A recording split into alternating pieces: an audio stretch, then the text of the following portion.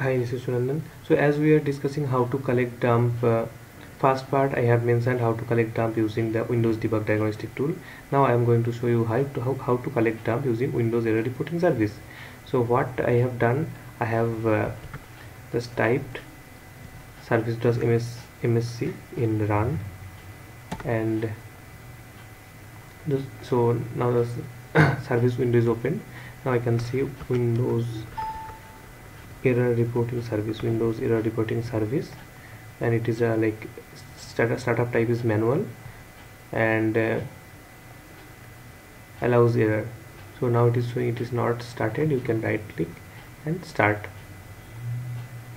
So once you start it it is started. Now what you need to do you need to go to regedit just by typing you can go. I have already created that you, need to do some configuration. So your dump will be created in that location. So where you need to go I will show you. Uh, first you need to go to local machine then software. Then inside software you have to go to Microsoft. And then inside Microsoft you have to go to Windows then windows under windows windows error reporting. So inside windows error reporting you have to create one folder called local dumps which i have already created. So you have to create this folder. How you will create now? So you will come here and do new and key. So it will create this. So if you do it will create like this. Then you have to change the name. So i'm not here creating again. Deleting it. Okay fine.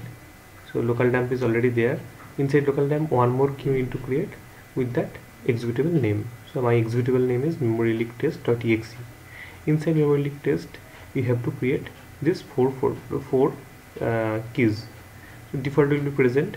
We have to create that custom dump flags which will be of reg dword and its value will be 0 by default. And dump count uh, it will be reg dword and how many dumps you want to collect two or one that you want to create here.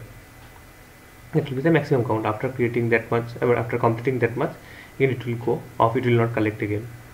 Again then after you have to create, create the dump folder where you will mention that uh, folder name where you want to collect it. Then dump type.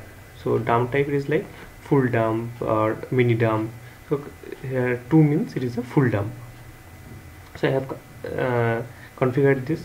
So I can close it and I will run the